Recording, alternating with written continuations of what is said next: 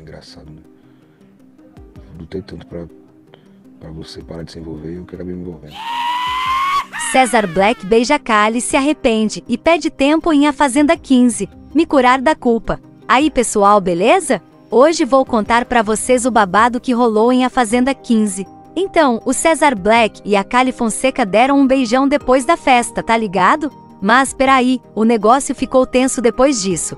Os dois passaram a noite juntos, mas as cenas picantes não foram ao ar. Aí o enfermeiro, o ex-BBB, bateu um papo com a cantora e confessou que se arrependeu, mano. Preciso me curar desse sentimento de culpa. O cara mandou a real. No dia seguinte, ele chamou a Kali para uma conversa séria. O César tava todo preocupado, falou que tá com receio de se envolver e com a consciência pesada. A loira tentou tranquilizar ele, disse que não precisa virar um casal no reality, mas o cara tava na vibe de se resolver consigo mesmo. A Kali ainda soltou que o relacionamento que ela tinha fora do programa não estava muito promissor, e aí ela ficou feliz de acabar com isso. Você despertou uma coisa diferente em mim, ela soltou essa. Só que o César foi firme, preciso de um tempo para me resolver, me curar desse sentimento de culpa. Não tem nada que você possa fazer, só continua sendo você mesma comigo.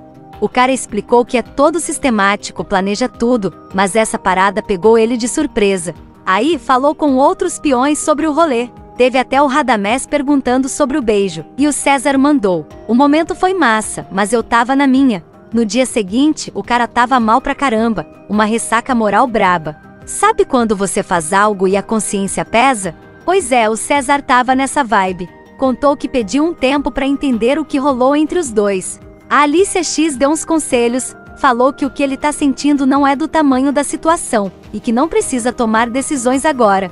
E aí, o César soltou que a parada que ele mais evita na vida é magoar as pessoas. Que situação, né? Fica ligado que isso ainda vai dar o que falar em A Fazenda 15.